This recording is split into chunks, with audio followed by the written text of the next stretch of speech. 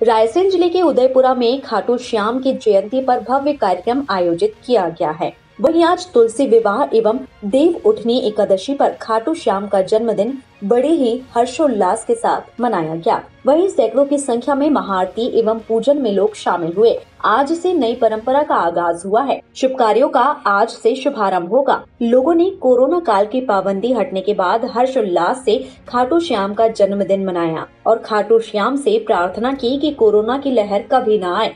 सङ्गाणमीर्पत्रं समर्पं त्वं दुर्व्यामृजन्मां श्रीवन्ताय सर्वैरपि सौभाग्यं सन्तं देहि सर्वकार्यकरी भवो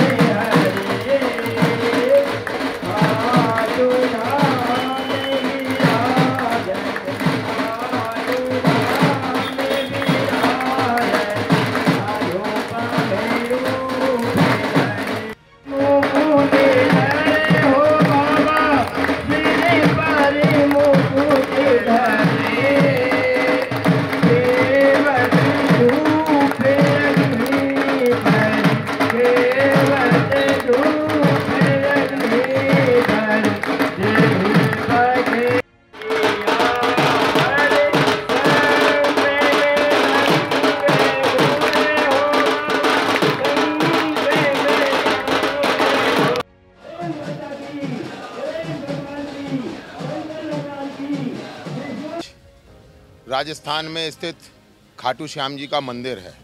हारे का सहारा बाबा खाटू श्याम हमारा। उस धारणा के साथ आज ये भाटी सिंह जी, नंदू जी, इन लोगों ने ये कार्यक्रम यहाँ आयोजित किया है। और ये जो आज कार्यक्रम हुआ, ये उस दिन हुआ जब देव उठनी एकादशी है। जिस दिन भगवान शालिग्राम और माता तुलसी का विवाह होता है और इसी दिन से हमारी हिंदू परंपरा में शुभ कार्यों का प्रारंभ होता है। आज से विवाह समारोह आदि शामिल हो, शुरू होंगे। दो वर्षों में कोविड काल के बाद पहली बार सार्वजनिक कार्यक्रमों से पाबंदी हटी है, विवाहिक कार्यक्रमों से पाबंदी हटी है।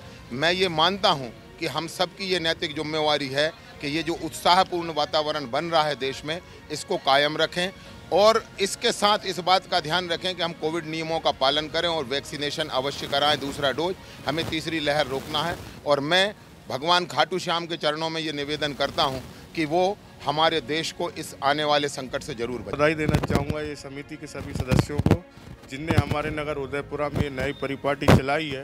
निश्चित रूप से खाटू श्याम जी सहारे का सहारा है और ये कोरोना काल में मनुष्य मतलब आम आदमी मानसिक रूप से बहुत परेशान था।